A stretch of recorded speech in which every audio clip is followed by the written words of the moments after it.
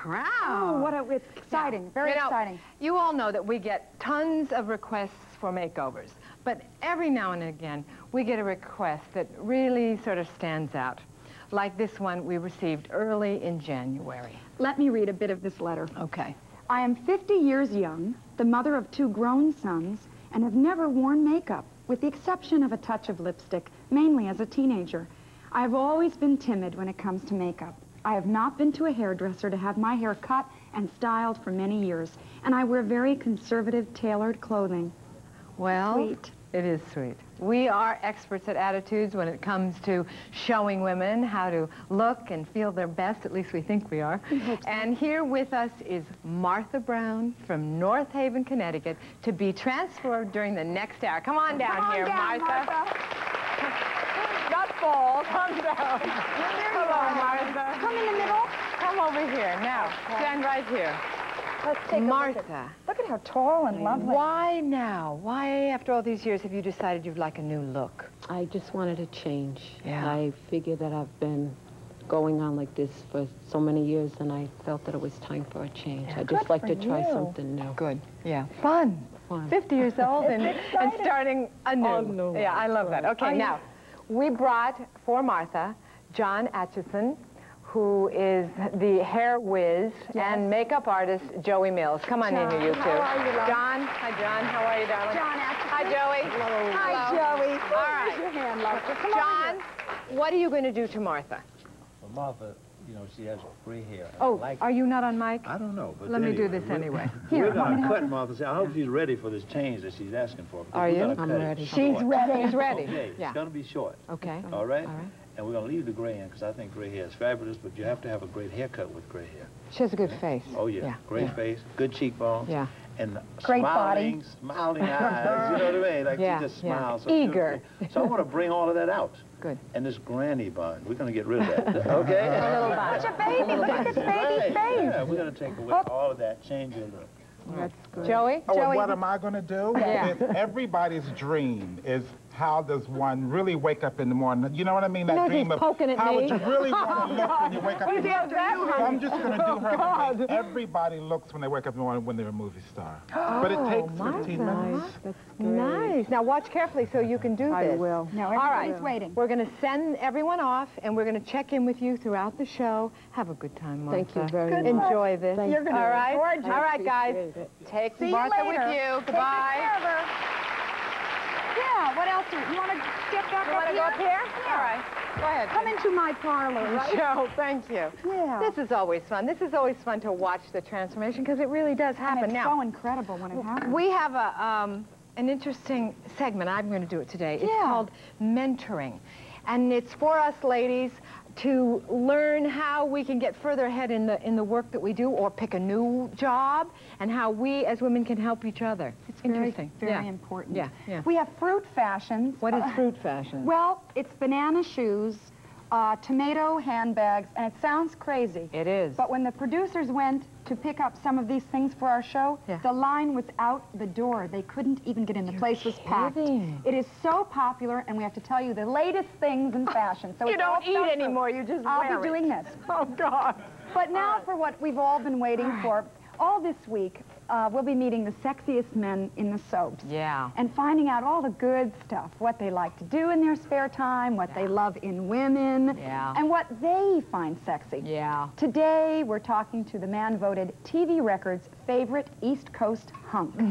Okay? He plays Yeah. Max Holden, the ambitious adventurer on ABC's One Life to Live.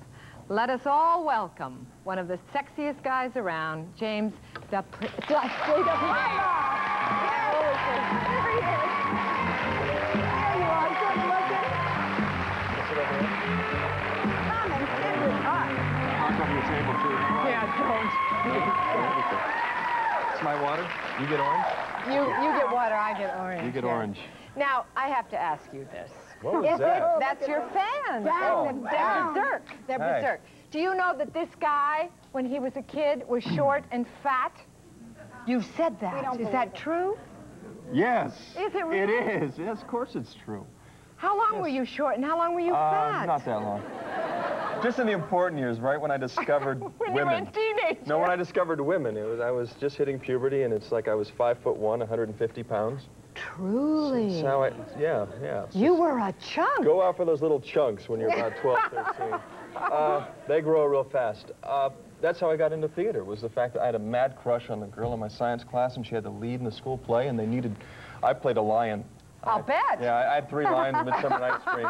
And, no, Brown sorry, girl, Kind of, kind of rolled on the floor. So, Was I mean, she that- short and fat, too? No, no, she was Oh, very... She was very pretty. That's why she wanted nothing to do with me. I bet. Did you And ever see uh, her again? I, oh yeah, I saw her. She's a she's a lawyer in Washington D.C. She went to Harvard, and then she's a lawyer in Washington. And I was uh, doing an autograph session in Washington. All these people were lined up for autographs, and the guard came over and said, uh, "This uh, lady over here says she knows you." And I went, like, "Oh." Oh, my goodness. But it was her, so I called her up, and she sat next to me, and she just laughed the whole time. She couldn't believe it. Oh, what a cute story It that was is. funny. That's But I grew eight inches one summer. In one summer, you How grew eight were you inches? when you Uh, grew that much? 13. I was I was 5'1 when I left the seventh grade. 5'9 when I Your mother must have been grade. so relieved. Now, you um, are Max Holden, as we all know, on One Life to Live. Okay. You did something a little say so. different for your audition that we thought was very interesting. Tell us about how you got this job. Oh, where do you want to start? It was a long process. It well, with Tina. uh, what you with did Tina. there. Well, my audition started in Los Angeles. I read a couple times in L.A. and then I went. Uh, then I taped in Los Angeles, and they flew me out to New York to do a screen test with Tina, and uh, with the four other finalists from around the country and whatever. And uh, it was just an actor's choice. The thing was, the script was Tina. I'm so excited, and she says, Max, I've never seen you so wired. I mean, those are the first two lines, and then well, from wherever, but uh, all these guys kept walking in and going, Tina, I'm so excited. Yeah, like death. And she'd go, Max, I've never seen you so wired. so I, so I, I ran in, I yelled, I screamed, I picked her up and spun her around three times, and so she went, I've never seen you so wired. So it, And you got the job. yeah. You're married. I don't want to upset you all, but he is married. You just had your third anniversary. Yes. Your wife is also an actress, correct? Yes. How does she feel about you being this big, sexy soap star now? Does it make her crazy? with she- such great teeth. Well, she, well, yeah. D, down. down, down. And no braces either. That's great genetics. you know. Okay. That's very lucky.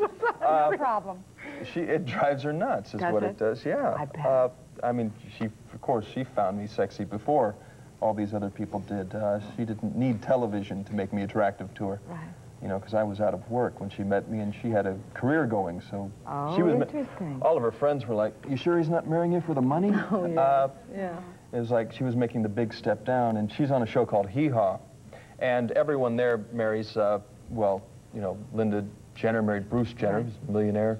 Marianne Gordon married Kenny Rogers, who's a millionaire. And she Harvey Bent married married you. a millionaire, and Right. Misty married the out-of-work waiter. That's right. Now you're very much on top. How is she doing? Is that a, She's is that a doing fine. She's problem doing fine. In, your, Uh, in your relationship now? The real problem was uh, her coming to New York and starting all over because all of her Tough. connections are in Los Angeles. She's born, raised there. I mean, she's been in the business since she was about 17 in Los Angeles. And for me to uproot her from a house she's lived in for 12 years and to stick her in a one-bedroom apartment in Manhattan is, uh, Tough. well, it was, it was a little hard getting her Well- used to it, but now she's doing very well. Good. Maybe we can see why she doesn't mind it so much. She Do never we have sees a me. clip Yeah. She never of sees me. Max on TV. Holden in action here? Let's Yeah. look Afraid, at uh, one life to. You might get caught up in the heat of the moment. Lukewarm is about all I could expect from you. I thought so. You're afraid. Stop saying that. I am not afraid. Then why won't you do the scene with me? Because I already have a leading man. Bo? Yes, that's right. And he's and he's very good. So why don't you just go and take a hike? I can't stay in town any longer. I've got to get back to the ranch. I don't want to leave you, but I have to. Oh. Listen. I have to go back to the ranch. I don't want to leave you behind. I just want to do what's best for you.